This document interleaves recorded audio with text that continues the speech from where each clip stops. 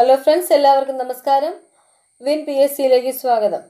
നമ്മുടെ ten day ചലഞ്ചിന്റെ ഫിസിക്സിന്റെ മൂന്നാമത്തെ ക്ലാസ്സിലാണ് ക്ലാസ്സാണ് ഇന്ന് നമ്മൾ പഠിക്കാൻ പോകുന്നത്. കഴിഞ്ഞ ദിവസം പഠിച്ച കാര്യങ്ങളൊക്കെ എല്ലാവരും ഭംഗിയായി പഠിച്ചു എന്ന് വിശ്വസിക്കുകയാണ്. സദിശ അളവുകൾ അതിശയ അളവുകൾ ബലവും പ്രവൃത്തിയും ജഡത്വം ചലന ജഡത്വം നിശ്ചല ജഡത്വം പിന്നെ ഊഷ്മാവ് ഇതൊക്കെ നമ്മൾ കഴിഞ്ഞ ക്ലാസ്സിൽ പഠിച്ചു. ഇന്ന് നമുക്ക് താപത്തെക്കുറിച്ച് ആദ്യം നോക്കാം. ഒരു വസ്തുവിലെ തന്മാത്രകളുടെ ആകെ ഗതികോർജത്തിന്റെ അളവാണ് താപം. ഒരു വസ്തുവിലെ തന്മാത്രകളുടെ ആകെ ഗതികോർജത്തിന്റെ അളവാണ് താപം. ഗതികോർജം എന്താണെന്ന് നമ്മൾ കഴിഞ്ഞ ക്ലാസ്സിൽ പഠിച്ചായിരുന്നു. ഒരു വസ്തുവിന് അതിന്റെ ചലനം മൂലം ലഭിക്കുന്ന ഊർജമാണ് ഗതികോർജം അപ്പം ഇവിടെ താപം എന്താണ് നമ്മൾ പഠിച്ചത്? ഒരു വസ്തുവിലെ തന്മാത്രകളുടെ ആകെ ഗതികോർജത്തിന്റെ അളവാണ് താപം. ഒരു വസ്തുവിന്റെ ചലനം മൂലം ലഭ്യ ലഭിക്കുന്ന ഊർജമാണ് ഗതികോർജം. അപ്പോൾ ഗതികോർജത്തിന്റെ അളവാണ് താപം. ഒരു വസ്തുവിലെ തന്മാത്രകളുടെ ആകെ ഗതികോർജത്തിന്റെ അളവാണ് താപം. താപത്തിൻ താപോർജത്തിന്റെ യൂണിറ്റ് ജൂൾ. താപോർജത്തിന്റെ യൂണിറ്റ് ജൂളാണ്. താപം അളക്കാൻ മുൻകാലങ്ങളിൽ ഉപയോഗിച്ചിരുന്ന യൂണിറ്റാണ് കലോറി. താപം അളക്കാൻ മുൻകാലങ്ങളിൽ ഉപയോഗിച്ചിരുന്ന യൂണിറ്റാണ് കലോറി. ഒരു കലോറി എന്ന് പറഞ്ഞാൽ നാല് പോയിന്റ് രണ്ട് ജൂളാണ് ഒരു കലോറി എന്ന് പറഞ്ഞാൽ നാല് പോയിന്റ് രണ്ട് ജൂളാണ് താപം ഊർജ രൂപമാണെന്ന് പറഞ്ഞ ശാസ്ത്രജ്ഞൻ ജെയിംസ് പ്രസ്കോട്ട് താപം ഊർജരൂപമാണെന്ന് പറഞ്ഞ് ശാസ്ത്രജ്ഞൻ ജെയിംസ് പ്രസ്കോട്ട് ജൂൾ എന്നുണ്ട്. James Prescott Joule. അതുകൊണ്ടാണ് ആ ആ യൂണിറ്റിന് ആ, പേര് വന്നത് ജൂൾ എന്ന് വന്നത്. ഓക്കെ. താപം ഊർജരൂപമാണെന്ന് പറഞ്ഞ ശാസ്ത്രജ്ഞൻ ജെയിംസ് പ്രസ്കോട്ട് ജൂൾ. ഇനി പറയാൻ പോകുന്ന കാര്യം കുറച്ച് ശ്രദ്ധിച്ച് കേട്ട് മനസ്സിലാക്കിയേ പോകാവുള്ളൂ. അത് വെറുതെ കേട്ട് പോകരുത്. ഫാരൻ ഹീറ്റിനെ സെൽഷ്യസ് ആക്കി മാറ്റാനുള്ള ഫോർമുലയാണ് സൂത്രവാക്യമാണ് പറയാൻ പോകുന്നത്. സി സമം C Celsius F minus thirty two. F Fahrenheit ആണ്. ഫാരൻ ഹീറ്റിന്റെ അളവ് എത്രയാണോ തരുന്നത് അതാണ് അവിടെ എഴുതേണ്ടത്. എഫ് മൈനസ് തേർട്ടി ടു അത് ബ്രാക്കറ്റാണ് into five by nine.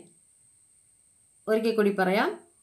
C സമം C Celsius F minus thirty two. Fahrenheit minus thirty two അത് ബ്രാക്കറ്റാണ് ഇന്റു ഫൈവ് ബൈ നയൻ ഇതാണ് ഫാരൻ ഹീറ്റിനെ നമ്മൾ സെൽഷ്യസ് ആക്കി മാറ്റാനുള്ള സൂത്രവാക്യം.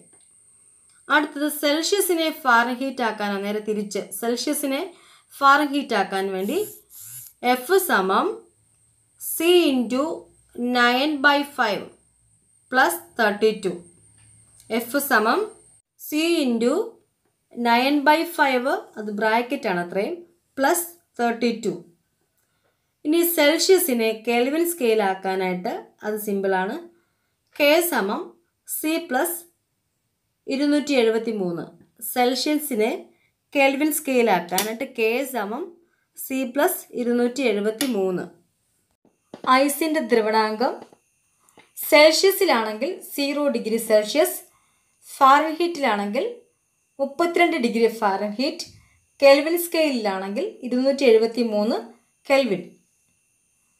ഐസിന്റെ ദ്രവണാങ്കം ഒന്നും കൂടെ പറയാം. സെൽഷ്യസിലാണെങ്കിൽ സീറോ ഡിഗ്രി സെൽഷ്യസ് ഫാരൻഹീറ്റിലാണെങ്കിൽ മുപ്പത്തിരണ്ട് ഡിഗ്രി ഫാരൻഹീറ്റ് കെൽവിൻ സ്കെയിലിലാണെങ്കിൽ ഇരുന്നൂറ്റി എഴുപത്തി മൂന്ന് കെൽവിൻ. ഇനി ജലത്തിന്റെ തിളനില സെൽഷ്യസ് സ്കെയിലിലാണെങ്കിൽ സീറോ ഡിഗ്രി സെൽഷ്യസ്. ജലത്തിന്റെ തിളനില സീറോ ഡിഗ്രി സെൽഷ്യസ്. ഫാരൻഹീറ്റിലാണെങ്കിൽ ഇരുന്നൂറ്റി പന്ത്രണ്ട് ഡിഗ്രി ഫാരൻഹീറ്റ്. കെൽവിൻ സ്കെയിലിലാണെങ്കിൽ മുന്നൂറ്റി എഴുപത്തി മൂന്ന് കെൽവിൻ മനുഷ്യ ശരീരോഷ്മാവ് സെൽഷ്യസിലാണെങ്കിൽ മുപ്പത്താറ് പോയിന്റ് ഒമ്പത് ഡിഗ്രി സെൽഷ്യസ്. മനുഷ്യ ശരീരോഷ്മാവ് സെൽഷ്യസ് സ്കെയിലാണെങ്കിൽ മുപ്പത്താറ് പോയിന്റ് ഒമ്പത് ഡിഗ്രി സെൽഷ്യസ്. ഫാരൻഹീറ്റ് സ്കെയിലാണെങ്കിൽ തൊണ്ണൂറ്റെട്ട് പോയിന്റ് നാല് ഡിഗ്രി സെൽഷ്യസ്. കെൽവിൻ സ്കെയിലാണെങ്കിൽ മുന്നൂറ്റി പത്ത് കെൽവിൻ. നമ്മൾ ഫാരൻ ഹീറ്റ് സെൽഷ്യസിലേക്കാക്കാനും സെൽഷ്യസിനെ ഫാരൻഹീറ്റിലോട്ടാക്കാനും ഹീറ്റിലോട്ടാക്കാനും സെൽഷ്യസിനെ കെൽവിൻ സ്കെയിലിലേക്ക് ആക്കാനുമുള്ള സൂത്രവാക്യങ്ങൾ ഇതിനോടകം പഠിച്ചു കഴിഞ്ഞു. അതുകൊണ്ട് ഏതെങ്കിലും ഒരു കാര്യം തന്നാൽ മറ്റൊന്ന് കണ്ടുപിടിക്കുവാനായിട്ട് നമ്മൾ ആ പഠിച്ച സൂത്രവാക്യം ഉപയോഗിച്ച് പെട്ടെന്ന് കണ്ടുപിടിക്കാൻ നമുക്ക് സാധിക്കണം.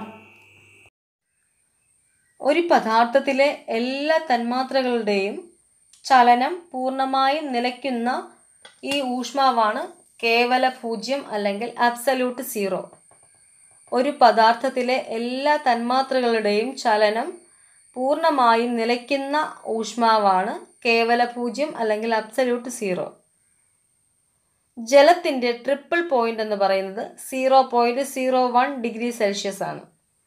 ജലത്തിന്റെ triple point zero point zero one degree Celsius ഭൗമോപരിതലത്തിലെ ശരാശരി താപനില പതിനാല് ഡിഗ്രി സെൽഷ്യസ് ആണ്. ഭൗമോപരിതലത്തിലെ ശരാശരി താപനില പതിനാല് ഡിഗ്രി സെൽഷ്യസ് ആണ്. ഊഷ്മാവ് കൂടുമ്പോൾ ദ്രാവകങ്ങളുടെ വിസ്കോസിറ്റി കുറയുന്നു. ഊഷ്മാവ് കൂടുമ്പോൾ ദ്രാവകങ്ങളുടെ വിസ്കോസിറ്റി കുറയുന്നു. ഇനി ജലത്തിന്റെ അസാധാരണ വികാസം നമുക്ക് നോക്കാം. നാല് ഡിഗ്രി സെൽഷ്യസിലുള്ള ജലം ചൂടാക്കിയാലും തണുപ്പിച്ചാലും അതിന്റെ വ്യാപ്തം കൂടുന്നു. നാല് ഡിഗ്രി സെൽഷ്യസിലുള്ള ജലം ചൂടാക്കിയാലും തണുപ്പിച്ചാലും അതിന്റെ വ്യാപ്തം കൂടുന്നു. അതുകൊണ്ട് ജലത്തിന് ഏറ്റവും കൂടുതൽ സാന്ദ്രതയും ഏറ്റവും കുറഞ്ഞ വ്യാപ്തവും അനുഭവപ്പെടുന്ന ഊഷ്മാവാണ് നാല് ഡിഗ്രി സെൽഷ്യസ്. ജലത്തിന് ഏറ്റവും കൂടുതൽ സാന്ദ്രതയും ഏറ്റവും കുറഞ്ഞ വ്യാപ്തവും അനുഭവപ്പെടുന്ന ഊഷ്മാവാണ് നാല് ഡിഗ്രി സെൽഷ്യസ്. ഐസ് ഉരുകുമ്പോൾ അതിന്റെ വ്യാപ്തം കുറയുന്നു. ഐസ് ഉരുകുമ്പോൾ അതിന്റെ വ്യാപ്തം ഐസിന്റെ ആകട്ടോ ഐസ് ഉരുകുമ്പോൾ അതിന്റെ വ്യാപ്തം കുറയുന്നു. ജലം ഐസാകുമ്പോൾ വ്യാപ്തം കൂടുന്നു. അതിനാലാണ് ജലം നിറച്ച കുപ്പി ഫ്രീസറിൽ വെച്ചാൽ പൊട്ടുന്നത്. ജലം ഐസാകുമ്പോൾ വ്യാപ്തം കൂടുന്നു. അതിനാലാണ് ജലം നിറച്ച കുപ്പി ഫ്രീസറിൽ വെച്ചാൽ പൊട്ടുന്നത്. അടുത്തത് താപധാരിതയും വിശിഷ്ട താപധാരിതയും. നമ്മൾ കഴിഞ്ഞ ക്ലാസ്സിലൊന്ന് നോക്കി പോകുന്നതാണ് ഒരു പദാർത്ഥത്തിന്റെ ഊഷ്മാവ് ഒരു ഡിഗ്രി സെൽഷ്യസ് വർദ്ധിപ്പിക്കുന്നതിന് ആവശ്യമായ താപത്തിന്റെ അളവാണ് താപധാരിത. ഒരു പദാർത്ഥത്തിന്റെ ഊഷ്മാവ് ഒരു ഡിഗ്രി സെൽഷ്യസ് വർദ്ധിപ്പിക്കുന്നതിന് ആവശ്യമായ താപത്തിന്റെ അളവാണ് താപധാരിത. താപധാരിതയുടെ യൂണിറ്റ് ജൂൾ അല്ലെങ്കിൽ കെൽവിൻ. താപധാരിതയുടെ യൂണിറ്റ് ജൂൾ അല്ലെങ്കിൽ കെൽവിൻ.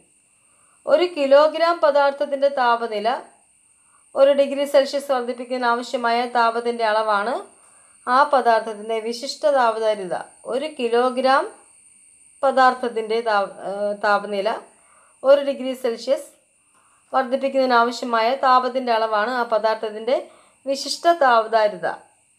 താപധാരിതയും വിശിഷ്ട താപധാരിതയും തമ്മിലുള്ള വ്യത്യാസം മനസ്സിലായോ? പദാർത്ഥത്തിന്റെ ഊഷ്മാവ് ഒരു ഡിഗ്രി സെൽഷ്യസ് വർദ്ധിപ്പിക്കുന്നതിന് ആവശ്യമായ താപത്തിന്റെ അളവാണ് താപധാരിത. ഇത് ഒരു കിലോ പദാർത്ഥത്തിന്റെ ഒരു കിലോഗ്രാം പദാർത്ഥത്തിന്റെ താപനില ഒരു ഡിഗ്രി സെൽഷ്യസ് വർദ്ധിപ്പിക്കുന്നതിന് ആവശ്യമായ താപത്തിന്റെ അളവാണ് വിശിഷ്ട താപധാരിത. വാഹനങ്ങളുടെ റേഡിയേറ്ററുകളിൽ ജലം ഉപയോഗിക്കുന്നതിന്റെ കാരണം ജലം ഉയർന്ന താ വിശിഷ്ട താപധാരിതയുള്ളത് കൊണ്ടാണ്. വാഹനങ്ങളുടെ റേഡിയേറ്ററുകളിൽ ജലം ഉപയോഗിക്കുന്നതിന്റെ കാരണം ജലത്തിന് ഉയർന്ന വിശിഷ്ട താപധാരിത എന്നുള്ള ഒരു ഗുണം ഉള്ളതുകൊണ്ടാണ്.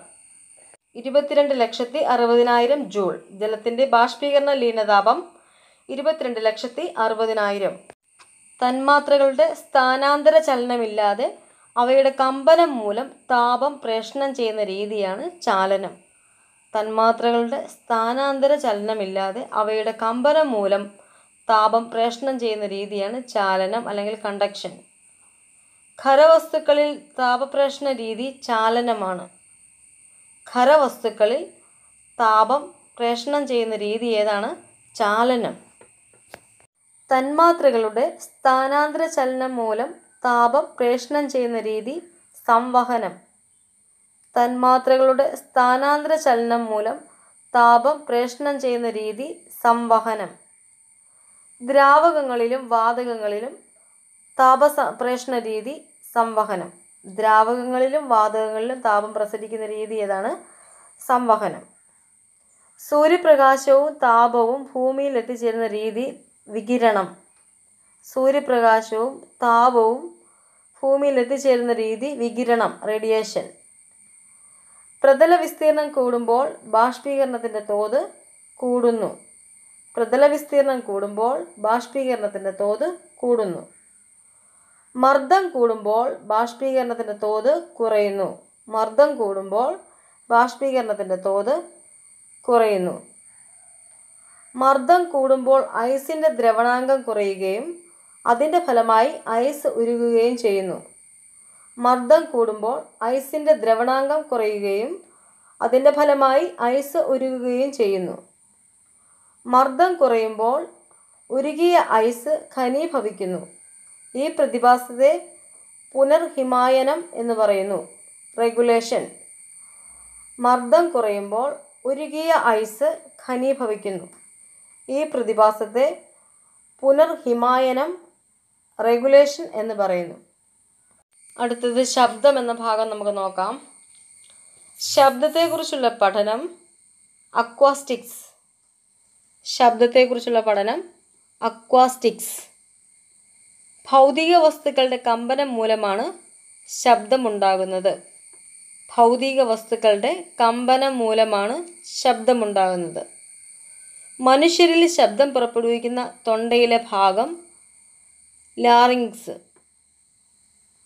മനുഷ്യരിൽ ശബ്ദം പുറപ്പെടുവിക്കുന്ന തൊണ്ടയിലെ ഭാഗം ലാറിങ്സ് ശബ്ദത്തിന് സഞ്ചരിക്കാൻ മാധ്യമം ആവശ്യമാണ്. ശബ്ദത്തിന് സഞ്ചരിക്കാൻ മാധ്യമം ആവശ്യമാണ്. സാധാരണ ഊഷ്മാവിൽ വായുവിലൂടെയുള്ള ശബ്ദത്തിന്റെ പ്രവേഗം മുന്നൂറ്റി നാൽപ്പത് മീറ്റർ പെർ സെക്കൻഡ്. സാധാരണ ഊഷ്മാവിൽ വായുവിലൂടെയുള്ള ശബ്ദത്തിന്റെ പ്രവേഗം മുന്നൂറ്റി നാൽപ്പത് മീറ്റർ പെർ സെക്കൻഡ്. മനുഷ്യന്റെ ശ്രവണപരിധി ഇരുപത് ഹഡ്സ് മുതൽ ഇരുപതിനായിരം ഹഡ്സ് വരെയാണ്. പി എസ് സി ചോദിക്കുന്ന ചോദ്യമാണ് മനുഷ്യന്റെ ശ്രവണപരിധി ഇരുപത് ഹഡ്സ് മുതൽ ഇരുപതിനായിരം ഹഡ്സ് വരെയാണ്. മനുഷ്യന്റെ ശ്രവണ പരിധിയിലും ഉയർന്ന ശബ്ദം അൾട്രാസോണിക്. മനുഷ്യന്റെ ശ്രവണ പരിധിയിലും ഉയർന്ന ശബ്ദം അൾട്രാസോണിക്. മനുഷ്യന്റെ ശ്രവണ പരിധിയിലും താഴ്ന്ന ശബ്ദം ഇൻഫ്രാസോണിക്. മനുഷ്യന്റെ ശ്രവണ പരിധിയിലും താഴ്ന്ന ശബ്ദം ഇൻഫ്രാസോണിക്. ശബ്ദത്തേക്കാൾ വേഗതയിൽ സഞ്ചരിക്കുന്ന വസ്തുവിന്റെ വേഗത സൂപ്പർസോണിക്.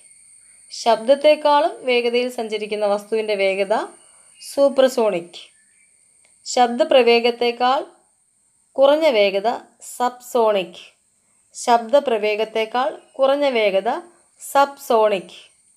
സൂപ്പർസോണിക് വിമാനങ്ങളുടെ വേഗത പറയുന്നത് മാക് നമ്പറിലാണ്. സൂപ്പർസോണിക് വിമാനങ്ങളുടെ വേഗത പറയുന്നത് മാക് നമ്പറിലാണ്. ഒരു മാക് നമ്പർ എന്ന് പറഞ്ഞാൽ മുന്നൂറ്റി നാൽപ്പത് മീറ്റർ പെർ സെക്കൻഡാണ്. ഒരു മാക് നമ്പർ മുന്നൂറ്റി നാൽപ്പത് മീറ്റർ പെർ സെക്കൻഡ് ആണ് ശബ്ദം ഏറ്റവും വേഗത്തിൽ സഞ്ചരിക്കുന്നത് ഖരവസ്തുക്കളിലാണ്. ശബ്ദം ഏറ്റവും വേഗത്തിൽ സഞ്ചരിക്കുന്നത് ഖരവസ്തുക്കളിലാണ്. ആവൃത്തിയുടെ യൂണിറ്റ് ഹഡ്സ് ആവൃത്തിയുടെ യൂണിറ്റ് ഹെഡ്സ് പ്രകാശരശ്മികൾ ഉപയോഗിച്ച് ശബ്ദം സംപ്രേഷണം ചെയ്യുന്ന ഉപകരണം ഫോട്ടോഫോൺ. പ്രകാശരശ്മികൾ ഉപയോഗിച്ച് ശബ്ദം സംപ്രേഷണം ചെയ്യുന്ന ഉപകരണം ഫോട്ടോഫോൺ. ശബ്ദത്തെ വൈദ്യുത സ്പന്ദനങ്ങളാക്കുന്നത് മൈക്രോഫോൺ. ശബ്ദത്തെ വൈദ്യുത സ്പന്ദനങ്ങളാക്കുന്നത് മൈക്രോഫോൺ. വൈദ്യുത സ്പന്ദനങ്ങളെ ശബ്ദതരംഗങ്ങളാക്കുന്നത് ലൗഡ് സ്പീക്കർ വൈദ്യുത സ്പന്ദനങ്ങളെ ശബ്ദതരംഗങ്ങളാക്കുന്നത് ലൗഡ് സ്പീക്കർ ശബ്ദ തീവ്രത അളക്കുന്ന യൂണിറ്റ് ഡെസിബൽ. പരീക്ഷയ്ക്ക് ചോദിക്കുന്നതാണ്. ശബ്ദ തീവ്രത അളക്കുന്ന യൂണിറ്റ് ഡെസിബൽ. സമുദ്രത്തിന്റെ ആഴം അളക്കാനും മത്സ്യക്കൂട്ടങ്ങളെ കണ്ടെത്താനും ഉപയോഗിക്കുന്നത് സോണാർ. സമുദ്രത്തിന്റെ ആഴം അളക്കാനും മത്സ്യക്കൂട്ടങ്ങളെ കണ്ടെത്താനും ഉപയോഗിക്കുന്നത് സോണാർ. ശ്രവണ സ്ഥിരത എന്ന് പറയുന്നത് പത്തിലൊന്ന് സെക്കൻഡാണ് ശ്രവണ സ്ഥിരത എന്ന് പറയുന്നത് പത്തിലൊന്ന് സെക്കൻഡ് ശബ്ദം തരംഗങ്ങളുടെ രൂപത്തിലാണ് സഞ്ചരിക്കുന്നത്. ശബ്ദം തരംഗങ്ങളുടെ രൂപത്തിലാണ് സഞ്ചരിക്കുന്നത്. ഒരു സെക്കൻഡിൽ ഉണ്ടാകുന്ന തരംഗങ്ങളുടെ എണ്ണമാണ് ആവൃത്തി. ഒരു സെക്കൻഡിൽ ഉണ്ടാകുന്ന തരംഗങ്ങളുടെ എണ്ണമാണ് ആവൃത്തി. ഒരു സെക്കൻഡിൽ തരംഗം സഞ്ചരിക്കുന്ന ദൂരമാണ് പ്രവേഗം.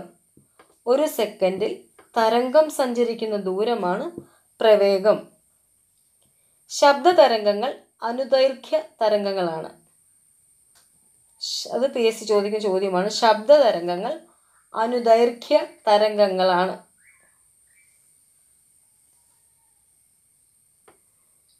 മനുഷ്യന് കേൾക്കാൻ സാധിക്കാത്ത വളരെ ഉയർന്ന ആവൃത്തിയുള്ള ശബ്ദം പുറപ്പെടുവിക്കുന്ന ഒരു പ്രത്യേക ഉപകരണമാണ് ഗാൾട്ടൻ വിസിൽ. മനുഷ്യന് കേൾക്കാൻ സാധിക്കാത്ത വളരെ ഉയർന്ന ആവൃത്തിയുള്ള ശബ്ദം പുറപ്പെടുവിക്കുന്ന ഒരു പ്രത്യേക ഉപകരണമാണ് ഗാൾട്ടൻ വിസിൽ. ഈ ഗാൾട്ടൻ വിസിൽ നായ്ക്കളെ വിളിക്കാൻ ഇത് ഉപയോഗിക്കുന്നുണ്ട്. ദിലീപിന്റെ ഒരു സിനിമയിലുണ്ട് കിങ് മാസ്റ്ററിലോ മറ്റോ. ശരീരത്തിനുള്ളിലെ മുഴകളും മറ്റും കണ്ടെത്തുന്നതിന് അൾട്രാസൗണ്ട് സ്കാനിംഗ് ഓർ അൾട്രാസോണോഗ്രാഫി ഉപയോഗിക്കുന്നു. ശരീരത്തിനുള്ള ഉള്ളിലെ മുഴകളും മറ്റും കണ്ടുപിടിക്കുന്നതിന് അൾട്രാസൗണ്ട് സ്കാനിംഗ് അല്ലെങ്കിൽ അൾട്രാസോണോഗ്രാഫി ഉപയോഗിക്കുന്നു. സംഗീത സ്വരത്തെക്കുറിച്ച് പഠിക്കുന്നതിന് ഉപയോഗിക്കുന്ന ഉപകരണം സോണോമീറ്റർ. സംഗീത സ്വരത്തെക്കുറിച്ച് പഠിക്കുന്നതിന് ഉപയോഗിക്കുന്ന ഉപകരണം സോണോമീറ്റർ. ശബ്ദത്തിന്റെ തീവ്രത ഇളക്കാൻ ഉപയോഗിക്കുന്ന ഉപകരണം ഓസിലോസ്കോപ്പ്. ശബ്ദത്തിന്റെ തീവ്രത ഇളക്കാൻ ഉപയോഗിക്കുന്ന ഉപകരണം ഓസിലോസ്കോപ്പ്. ഊഷ്മാവ് കൂടുന്നതനുസരിച്ച് ശബ്ദത്തിന്റെ പ്രവേഗം കൂടുന്നു. ഊഷ്മാവ് കൂടുന്നതനുസരിച്ച് ശബ്ദത്തിന്റെ പ്രവേഗം കൂടുന്നു. ഏകദേശം അറുന്നൂറ് ഹെഡ്സിൽ കൂടുതൽ ആവൃത്തിയുള്ള വൈദ്യുത കാന്തിക തരംഗങ്ങളാണ് റേഡിയോ തരംഗങ്ങൾ.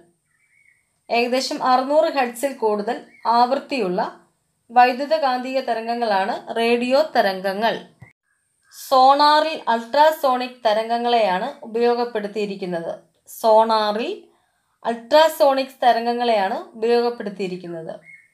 പൂജ്യം ഡിഗ്രി സെൽഷ്യസ് ഊഷ്മാവിൽ വായുവിൽ ശബ്ദത്തിന്റെ പ്രവേഗം മുന്നൂറ്റി മുപ്പത്തി മൂന്ന് മീറ്റർ പെർ സെക്കൻഡ്.